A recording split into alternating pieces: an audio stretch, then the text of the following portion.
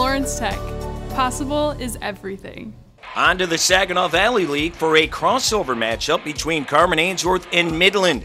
Good start for the Chemic defense. Christian Gordon goes untouched and takes down Dustin Fletcher.